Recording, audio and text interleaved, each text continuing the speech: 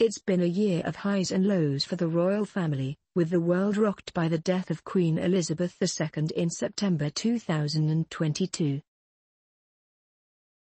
Earlier this year in June, communities came together all over the UK to celebrate the Queen's Platinum Jubilee with street parties and gatherings. The royals turned out in force at a series of special events to mark the historical occasion, with Trooping the Colour and a concert at Buckingham Palace. Since the passing of Her Majesty in autumn, King Charles and his family have ensured that her legacy has lived on.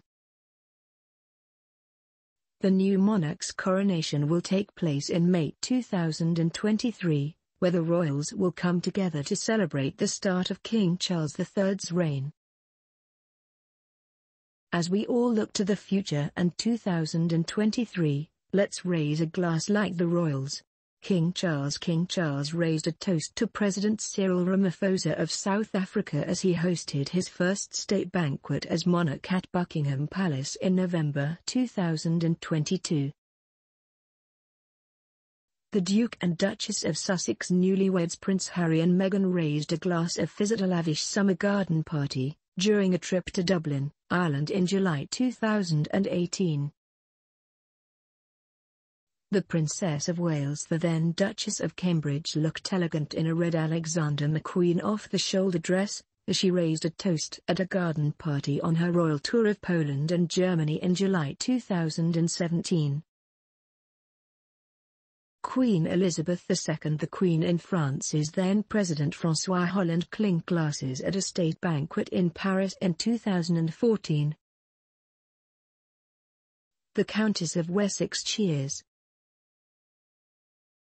The Countess of Wessex toasts with a glass of English sparkling wine during a visit to a vineyard in Gloucestershire in 2014.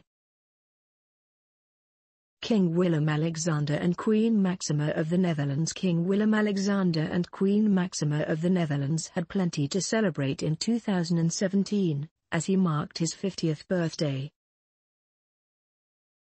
Princess Diana Princess Diana looked chic in a lilac-embroidered Catherine Walker ensemble as she drank champagne during a tour of South Korea in 1992. Queen Letizia of Spain Queen Letizia of Spain drinks to a toast during a state dinner at the Royal Palace in Madrid in 2017. Check out that tiara.